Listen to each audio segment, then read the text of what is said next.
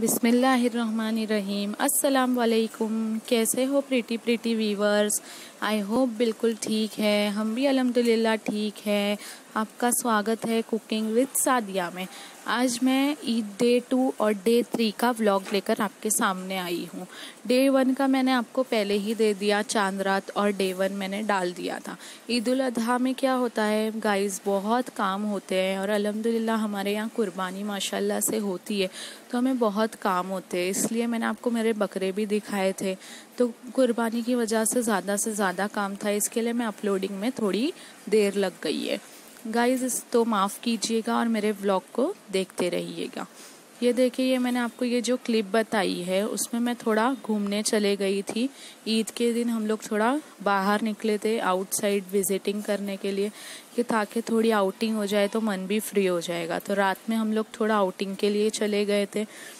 और मैंने आपको अपनी मेहंदी बताना भूल गई थी। इसके लिए मैंने आपको अपनी मेहंदी भी बता दी। मैंने बच्चियों की मेहंदी बता दी थी, पर अपनी नहीं बताई थी। इसके लिए मैंने अपनी मेहंदी भी आपको बता दी है।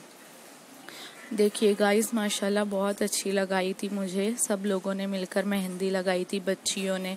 माशाल्लाह से बहुत प्यारा रंग भी आया था। इसके लिए मैंने आपको ये क्लिप भी बता दी कि आप लोग भी देख लें कि मेरी मेहंदी कैसी थी। आप लोग मिस ना करें। और गाइस माशाल्लाह से इतने अच्छे काम सारे मेरे हो गए। ईद भी इतनी अच्छी गुजरी कि किसी चीज़ की तकलीफ़ और कोई प्रॉब्लम ना हुई। लॉकडाउन होने की वजह से मेरी ईद और ईद अजहा माशाल्लाह इतनी अच्छी गई कि जिसकी कोई बात नहीं। और अल्हम्दुलिल्लाह से हमने बहुत इंजॉय किया। डे वन पर मैंने गोश्त का कौरमा खीर, पूरियाँ वगैरह बनाई थी और ये डे टू पर मैं आपको रोटियाँ बता रही हूँ। हमारे घर में रोटियों का रिवाज है और मेरे ससुर जी है, वो दाल नहीं खाते तो उनके लिए हमने गोश्त नहीं खाते तो उनके लिए हमने दाल बनाए और फिर रिटर्न मेरे घर में दावत थी। इसके लिए मैंने वापस पूरियाँ बनाई थी। उसकी वीडियो मैं आपको दिखा रही हूँ गाइज़ और इतनी अच्छी बनी थी, माशाल्लाह से सबको बहुत पसंद आई थी। और मेरी यही आदत है और मैं यही कोशिश करती हूँ कि मैं सारा खाना घर में ही बनाऊँ। मुझे बाहर से खाना बनाने की बिल्कुल भी आदत ही नहीं है और मुझे पसंद भी नहीं है, इसलिए मैं खुद ही बनाती हूँ। और रोटियाँ देखिए, मैं इस तवे पर सेकती हूँ। इसके लिए मैंने सोचा ये भी आपसे शेयर कर लूँ कि मुझे रोटी बनाने का अलहमदिल्ला से बहुत शौक़ है। हम लोग रोटियाँ रोज़ बनाते हैं, वो भी तीन वक्त माशाल्लाह से। और हम लोग के यहाँ ज़्यादातर हर चीज़ें बनती ही रहती है। और ये देखिए, मैंने अपने हाथों से केक भी बनाया था। कि मेरी एक बहन की बेटी का बर्थडे था तो मैंने सोचा उसका सेलिब्रेशन भी हो जाएगा। फिर हमने थोड़े पाँव मंगा लिए थे और ये मैंने कबाब बनाई थी, उसका मसाला मैं आपको बता रही हूँ और ये चटनी भी हमने बनाई थी। इतनी अच्छी तरह से मैंने सारी चीज़ें प्रिपरेशंस करके पहले ही रख दी थी। और ये मैं आपको बता रही हूँ, देखो मैं काम के साथ अपना किचन भी साफ़ करते रहती हूँ। अलहमदिल्ला मुझे आदत है मेरे किचन को साफ़ रखने की। मुझे ज़रा भी गंदगी वाला किचन पसंद नहीं और ये मैंने सबके लिए पुलाव बनाया था। इसकी रेसिपी मैं इंशाल्लाह अपलोड करने वाली हूँ। आप लोग कमेंट कीजिएगा कि चाहिए कि नहीं तो मैं जल्द अज जल्द अपलोड करूँगी। ये मैंने पुलाव बनाया था, जमज़म पुलाव। इसके लिए इसकी रेसिपी भी मैंने बना चुकी हूँ, इसकी रेसिपी भी मैं ऐड कर दूँगी। देखिए, माशाल्लाह से कितना अच्छा कलर आया और कितना अच्छा दिख रहा है ये पुलाव।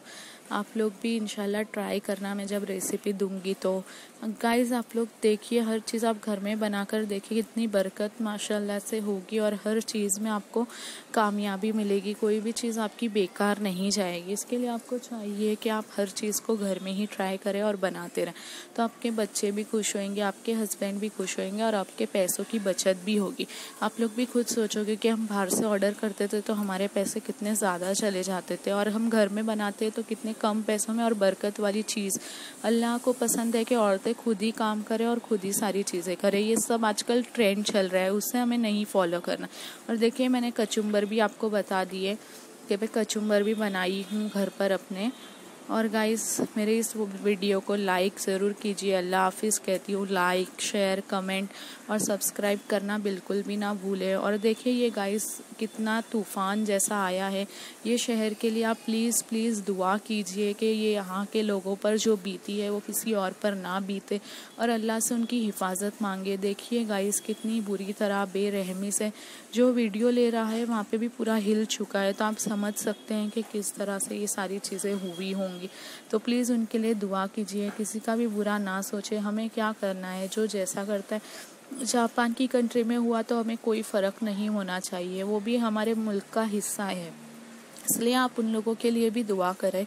और ये देखिए, आजकल बारिश हो रही है, कितना पानी भर चुका है हर जगह। हमें तो सुकून से हम रह लेते कि हमारे घर पर पानी नहीं आ रहा है। हम ये नहीं सोचते कि बेचारे जिनके घर में पानी भर गया होगा, वो लोग कैसे रहते होंगे? इसके लिए हर इंसान के लिए दुआ कर। अपने देखे ये बच्चा किस तरह से बेचारा तैर रहा है, इसको ये घूम हो चुका होगा, ये किसका बच्चा होगा, कहाँ का जा रहा हो? इसके लिए प्लीज़ गाइस दुआ करें कि किसी की हालत ऐसी ना हो। हर इंसान अपनी सेफ्टी से रहे, अल्लाह से यही दुआ मांगे हर नमाज़ में कि तू बारिश दे, लेकिन आफ़ियत और खैर बरकत वाली बारिश दे। ऐसी नहूसत वाली बारिश ना हो कि हर इंसान की बर्बादी हो, हर इंसान को पछतावा हो कि क्यों बारिश है। बारिश सबके लिए अच्छी हो और इनशाला गाइस अच्छी रेसिपी के साथ आपके सामने आऊँगी। मेरी चैनल को लाइक कमेंट शेयर और सब्सक्राइब करना बिल्कुल भी ना भूले। प्लीज़ किसी की मेहनत को ज़ाय ना करें। अपने, मेरी हर एक वीडियो को लाइक करें और बेल आइकन ज़रूर दबाएँ तो आपको मेरी नेक्स्ट वीडियो की नोटिफिकेशन मिल जाएगी।